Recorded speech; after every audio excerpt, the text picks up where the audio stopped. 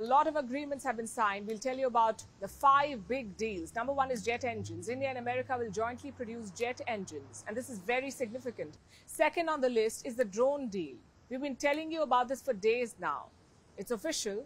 India will buy 31 drones from the United States. The drones will be assembled in India. Deal number three is semiconductors. There are investments to assemble and test chips in India, also to set up research and training centers. Deal number four is space collaboration. India has joined the Artemis Accords.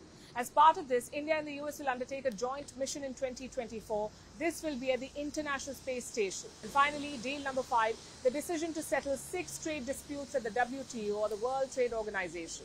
A lot of this would have been unthinkable a few decades ago, but now it is being done.